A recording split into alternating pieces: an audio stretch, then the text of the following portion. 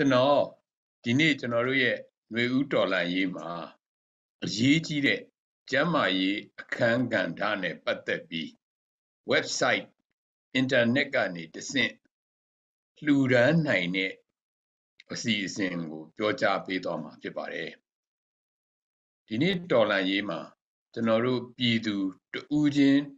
တဦးချင်းတယောက်ချင်းတယောက်ချင်းရဲ့ကျမ်းမာရေး generation Z တွေရဲ့ကျမ်းမာရေး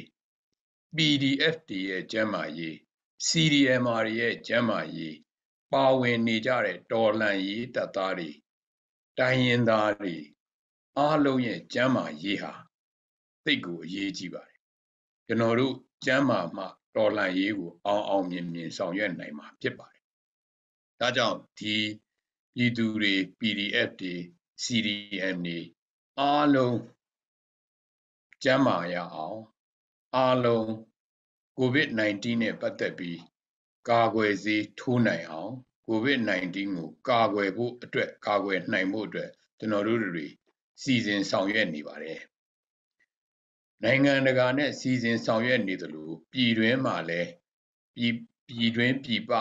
ပြည်သူတွေရဲ့အားနဲ့ဆောင်ရွက်လျက်ရှိပါတယ်ဒါကြောင့်အခုလိုမျိုး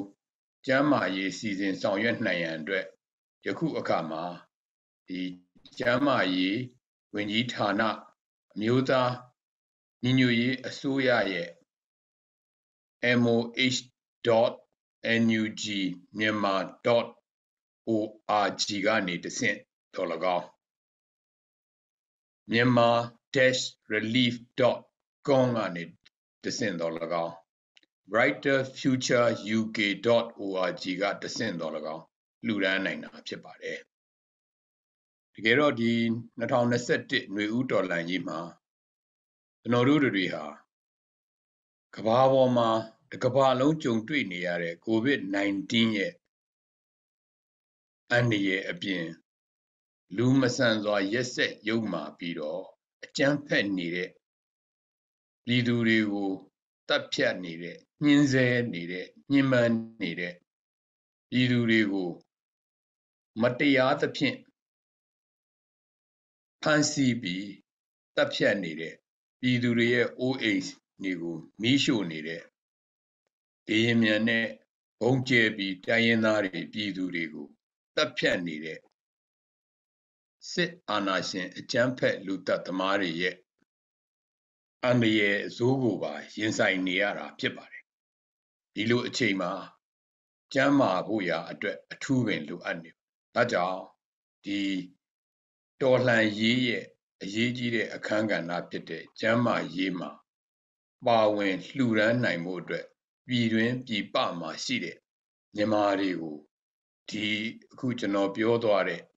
website တွေကနေတဆင့် လှူဒန်းပေးကြပါ ပါဝင်ပေးကြပါလို့ကျွန်တော်အနေနဲ့တိုက်တွန်းပါတယ်တကယ်တော့ကျန်းဖက်စစ်ကောင်စီဟာကျမ်းမာရေးစောင့်ရှောက်မှုပေးတဲ့ကျမ်းမာရေးဝန်ထမ်းတွေကိုတပ်ဖြတ်ခဲ့ညှဉ်းပန်းနှိပ်စက်ခဲ့အပြစ်မဲ့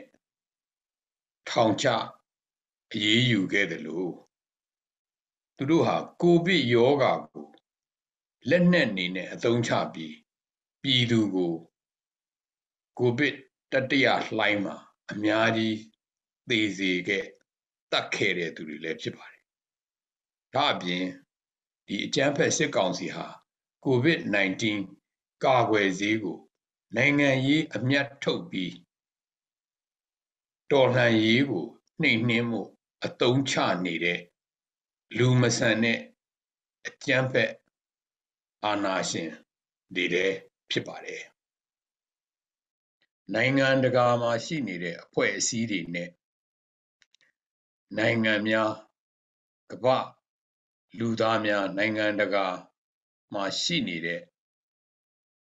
လူသားချင်းစာနာစိတ်ရှိတဲ့သူတွေအတွက်လည်းကျွန်တော်တို့မြန်မာနိုင်ငံမှာရှိနေတဲ့ပြည်သူတွေရဲ့ရင်ဆိုင်နေရတဲ့ကပ်ဘေးနှစ်ခုကိုပါဝင်ကူညီပြီး